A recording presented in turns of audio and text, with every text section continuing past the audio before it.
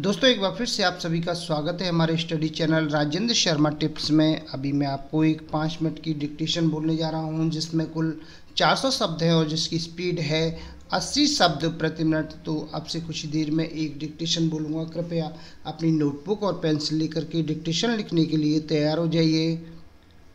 Ready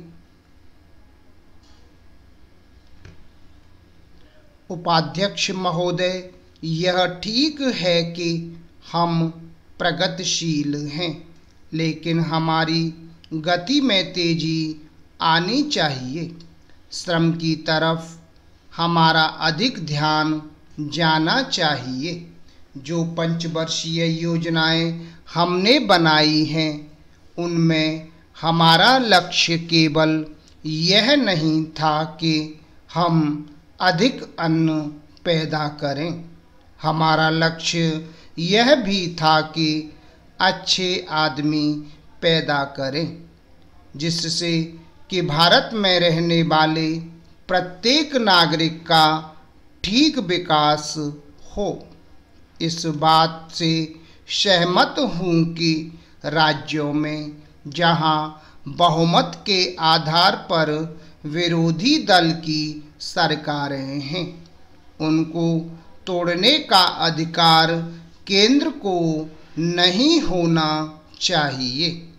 लेकिन फिर भी हमें स्थिति को देखते हुए भेद करना चाहिए। गुजरात की सरकार गिर गई, इसके लिए हमको अफसोस नहीं करना चाहिए। जहाँ तक इस बिल का संबंध है मैं इसकी कमियों की तरफ़ आपका ध्यान दिलाना चाहता हूँ, जिससे कि आपको उसे ठीक करने की प्रेरणा मिले और इसको आप ठीक करके वहाँ का काम चलाएँ। इसका आशय यह भी नहीं है कि जो पार्टी सरकार चलाती है, वह सब सही काम करती है। लेकिन फिर भी मैं यह मानता हूँ कि जो गुजरात की सरकार गिर गई, वह अच्छी बात हुई है।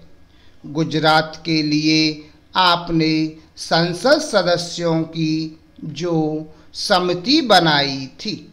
वह एक ठीक कदम है। लेकिन इस बात का आश्वासन भी आपको देना चाहिए कि राज्य और जिला स्तर पर जो समितियाँ आप बनाने जा रहे हैं, उनको सर्वदलीय बनाएँगे, ताकि जनता की जो कठिनाइयाँ हैं। वे आपके सामने प्रत्यक्ष रूप से आ सकें और उनकी भावना के अनुसार वहाँ पर कुछ काम हो सके। अगर ऐसी व्यवस्था नहीं होगी और बाहर के लोगों को आप उन समितियों में रखेंगे जिनको गुजरात की समस्याओं का कुछ भी ज्ञान नहीं है तो परिणाम यह होगा कि आप गुजरात की समस्याओं को हल नहीं कर सकेंगे।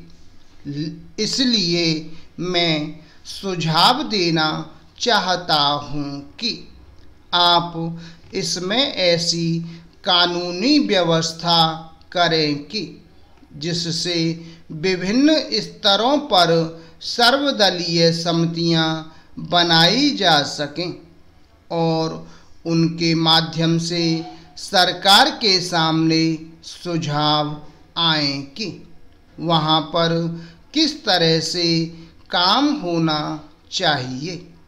पैराग्राफ। महोदय, गुजरात औद्योगिक मामलों में अन्य राज्यों से थोड़ा भिन्न है।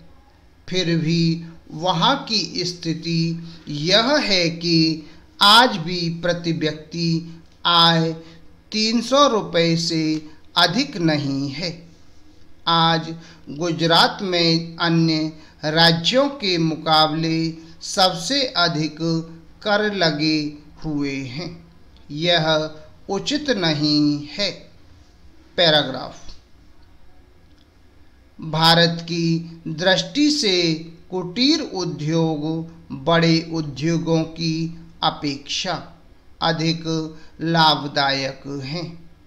पहली बात तो यह है कि भारत एक गरीब देश है। Full stop.